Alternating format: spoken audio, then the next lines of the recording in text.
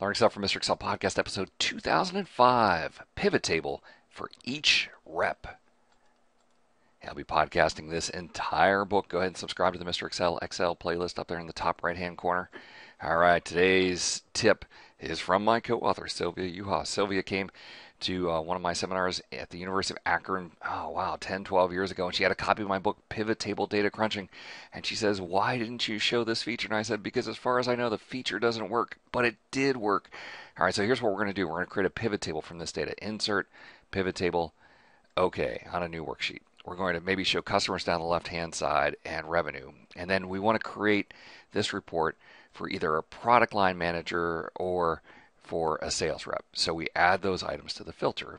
All right, now um, I would like to do a few things to customize this. First off, instead of the word row labels, I want to have the word customer up there. So that's report layout, show in tabular form.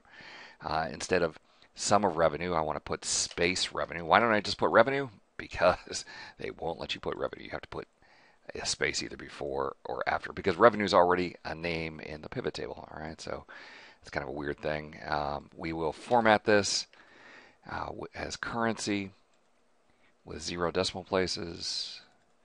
So it looks good. Maybe even come here on the design tab, choose banded rows, and then some nice color. Maybe uh, go with this green because it's revenue after all, right? And then what we could do is if we wanted to see this report for just one product or just one rep, we could open this drop down um, and see that. But I want to see it for all of the reps. I want to take this pivot table and replicate it for every single rep. Now they've really hidden this now. Uh, go to the Analyze tab. Uh, see this Options button? That's not what I want you to do. I want you to click the tiny little drop down and say Show Report Filter Pages. And because I have two different things in the report filter area, sales reps and products, they offer me both. I'm going to choose rep. And when I click OK, right, they just took my pivot table and replicated it for every single item in the rep dropdown. Uh, and on each one, they chose that rep. All right, now obviously, make sure your pivot table is formatted correctly before you go and create a whole bunch of different pivot tables. But this is a beautiful, beautiful trick. And it's just one of the many tricks in this book.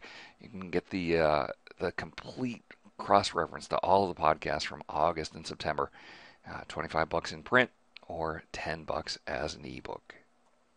All right, episode recap. There is an easy way to replicate a pivot table for each rep, product, or whatever. First, you create the pivot table, and then whatever the for each field is sales rep or product line add that to the filter area. Uh, in the pivot table tools tab, go to either options in 2007 or 2010 or analyze. It's the first tab in, in any case.